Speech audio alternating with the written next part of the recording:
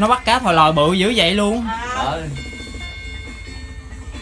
trời ơi. Mới nó tập á mới tập hay đại á. Mới tập Mất cái kẹo luôn tập á. Trời ơi đi bắt cá thòi lòi bự vậy con.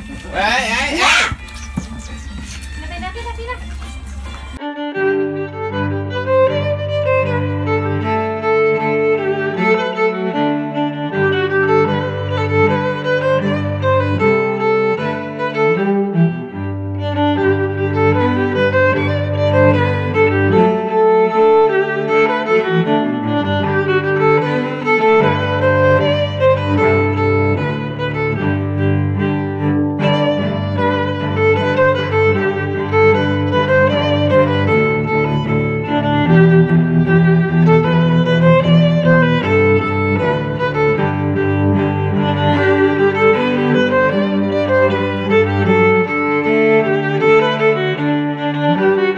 Trở thành chùm bắt cá thòi lòi nhưng không ăn thịt.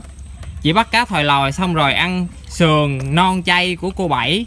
Và bây giờ tiêu phải về rừng này để hướng dẫn cho bé rái cá tina tập ăn thức ăn cho tôm cá cho nó quen. Chứ nó ăn sườn non chay của cô bảy hoài là rất là tội nghiệp. Và em cá thòi lòi này bây giờ tiêu sẽ thả cho em trở về với thiên nhiên nha. Tội nghiệp em quá hôm nay gặp tiêu nên tiêu thả cứu con đó.